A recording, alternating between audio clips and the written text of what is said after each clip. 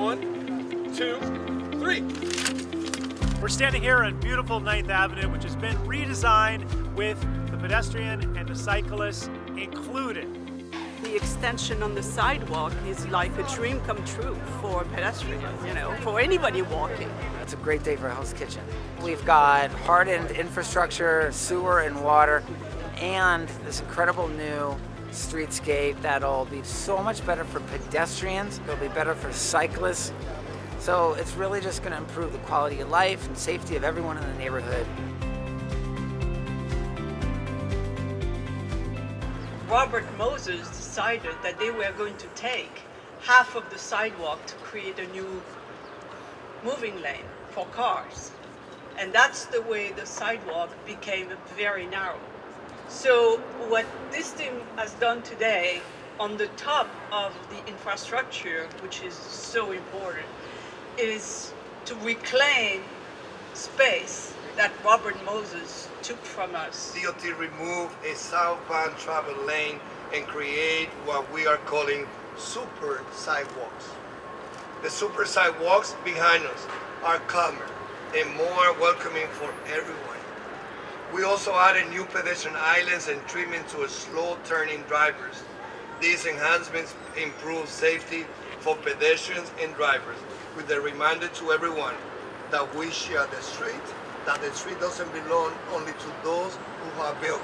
Hell's Kitchen and, and this community board has really been transformed with the new expanded sidewalk space and protected bike lane on 8th Avenue, as well as this new space in the 50s on 9th Avenue. And I think it's going to be really great to see the bustling, hot August nights here in Hell's Kitchen with all this new beautiful space for pedestrians.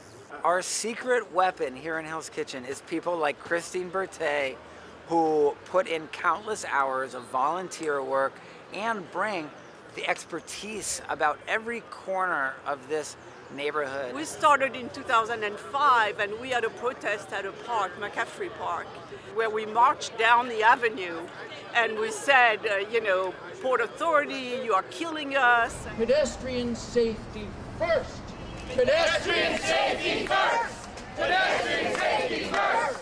Pedestrian safety first you know, we had all these big signs, etc. All the elected officials came with us.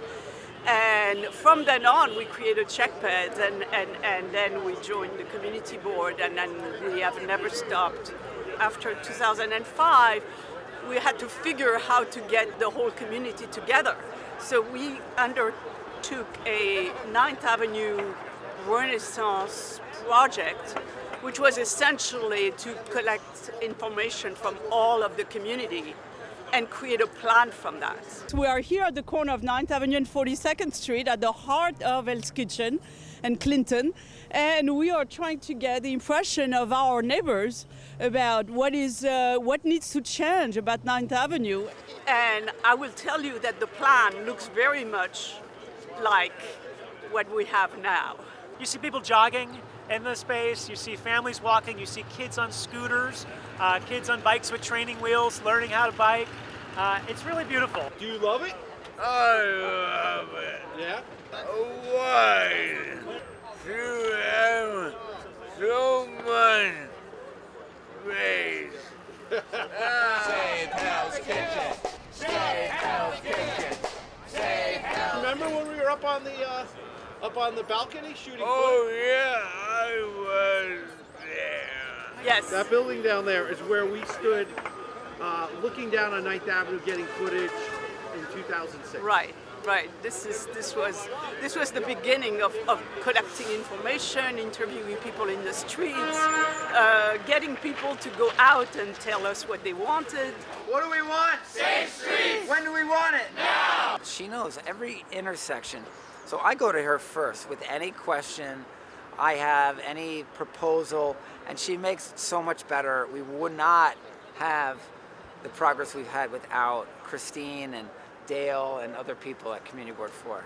It's a dream come true. You really now feel you have space. And it's just like bikes, having space and being protected. It's really, really very special.